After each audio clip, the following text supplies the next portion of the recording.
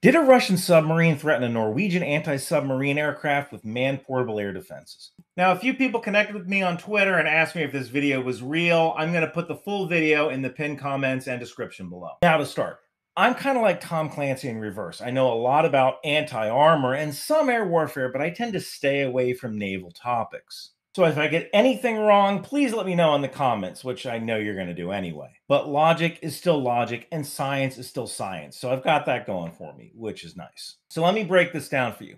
This Russian Borei class ballistic missile submarine Prince Vladimir was on patrol in the Barents Sea with a media crew. They were on the surface when a Norwegian P-3 Orion, which is probably from the 333 SKV or Saints squadron, appeared and dropped a sonobuoy near the submarine. A sonobuoy is a disposable sonar sensor that planes or helicopters can drop, and this transmits sonar information to the air platform. If this was wartime, the plane can then detect the submarine and drop a torpedo. But in peacetime, sonobuoys could be used to build an electronic profile or an acoustic fingerprint of the submarine. Now, Russian media claimed that the submarine took action by activating a team that carried shoulder fired anti aircraft missiles or MANPADS up to the sail of the submarine. Now, this is possible. What's interesting is that many navies have experimented with putting anti aircraft missiles on submarines.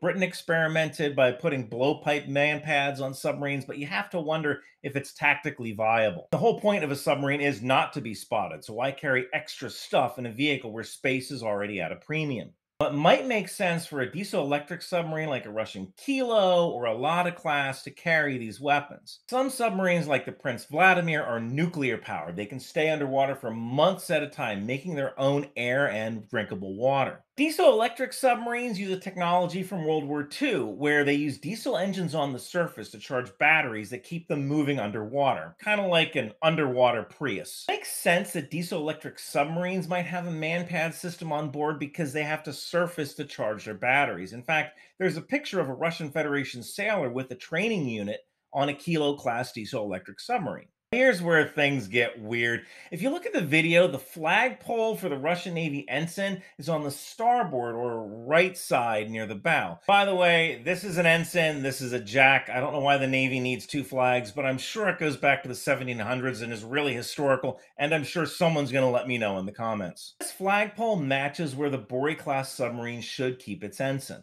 In the picture with the MANPADS, the ensign suddenly moves. Now it's on the port or the left side.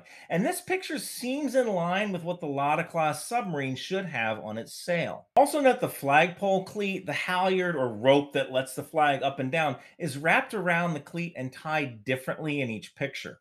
I think the footage from the Norwegian P3 Orion is real, but the news agency spliced in a different submarine when they wanted to show the MANPADS. This is kind of how Russian propaganda works. It counts on your ignorance about how military equipment is used in order to further a political agenda. Final things. If you know the pilot of the Norwegian 333 Squadron P3 Orion that found this submarine, let me know. I'll uh, send him a Ryan McBeth challenge coin for the good work he did finding this submarine. And by the way, if you like the t shirt, they should be available at Bunker Branding today. I'll put the link in the description below when it goes live.